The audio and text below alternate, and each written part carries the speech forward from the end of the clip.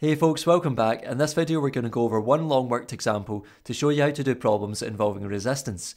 Now if you haven't already done so, check out my previous theory videos covering resistance, resistors in series and parallel, and combining resistors, as watching these videos will help you understand what we do in this video.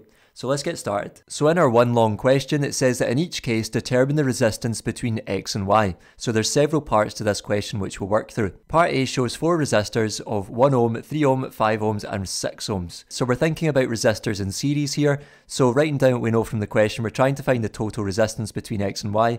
We know that R1 is 1 ohm, R2 is 3 ohms, R3 is 5 ohms and R4 is 6 ohms. So all we need to do is write down the simple relationship for resistors in series. So we get RT equals R1 plus R2 plus R3 plus R4, stopping at R4 because there's 4 resistors, and then substituting in the numbers gives us 1 plus 3 plus 5 plus 6, and putting that into your calculator gives you a final answer of 15 ohms. Part B shows a parallel combination of three resistors between X and Y where we have an 8 ohm resistor, an 8 ohm resistor and a 4 ohm resistor. So we should be thinking about resistors in parallel for this one. So writing down what we know from the question, we're trying to find the total resistance. We know that R1 is 8 ohms, R2 is 8 ohms and R3 is 4 ohms. So writing down our relationship for resistors in parallel, we have 1 over RT equals 1 over R1 plus 1 over R2 plus 1 over R3. Substituting in the numbers gives us 1 over 8 plus 1 over 8 plus 1 over 4. And remember there's several things you can do at this point. You can either use the lowest common denominator method, or the brackets method, or the x to the minus 1 method on your calculator. So it's totally up to you which one you want to use. But let's say we use the lowest common denominator without a calculator, then if I want this denominator here to be the same as these two, then I'm going to multiply the top and bottom by 2.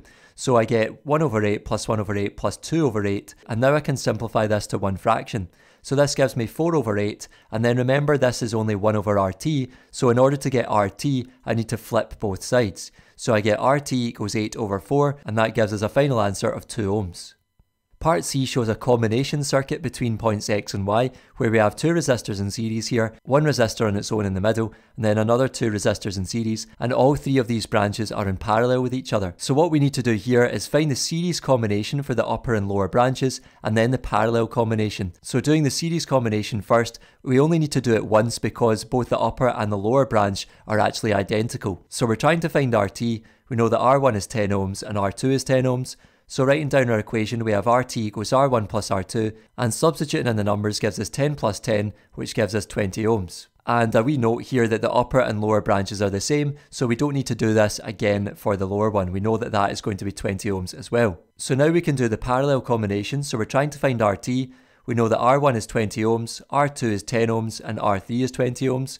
So writing down our equation, we have 1 over RT equals 1 over R1 plus 1 over R2 plus 1 over R3 Substituting in the numbers gives us 1 over 20 plus 1 over 10 plus 1 over 20. Using the lowest common denominator method again, I'm going to multiply the top and bottom of this fraction by 2 in order to get this to 20. So that gives me 1 over 20 plus 2 over 20 plus 1 over 20. And then I can simplify it into one fraction, so I get 4 over 20. And then remember I need to flip both sides here, so I get RT equals 20 over 4, which is the same as 5 ohms.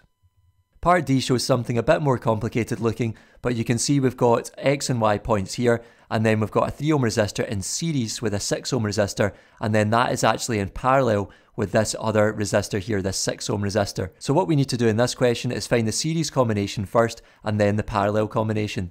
So for the series one, writing down what we know, we're trying to find RT, we know that R1 is 3 ohms and R2 is 6 ohms. It doesn't matter which one you call R1 and which one you call R2. Writing down our equation, we get RT equals R1 plus R2. Substituting in the numbers gives 3 plus 6, which gives us 9 ohms. And then we can do the parallel combination. So we have RT is what we're trying to find, R1 is 6 ohms and R2 is 9 ohms.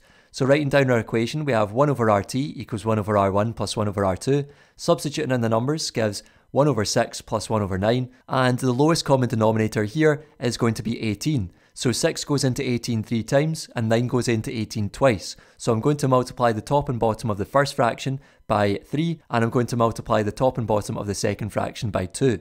So I get 3 over 18 plus 2 over 18, which gives me 5 over 18, simplifying it into one fraction. And then I can flip both sides to get RT equals 18 over 5. And if you put that into your calculator, you should get a final answer of 3.6 ohms. Lastly, part E shows another complicated looking circuit, but we're just going to break it down into the parts. So we're trying to find the total resistance between X and Y. We have two 30 ohm resistors in series here. Don't be fooled by the corner here, they are actually still in series.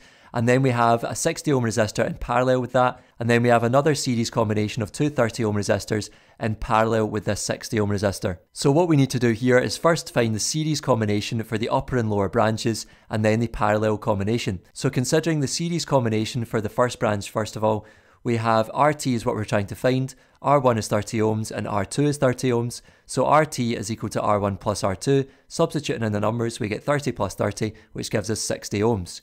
And again, note that the upper and lower branches are the same in this case, so we don't need to do this again for the lower branch. But that means we can resolve this into three parallel resistors, and we have RT is what we're trying to find. R1 is 60 ohms, R2 is 60 ohms, and R3 is 60 ohms. So we have three 60 ohm resistors in parallel.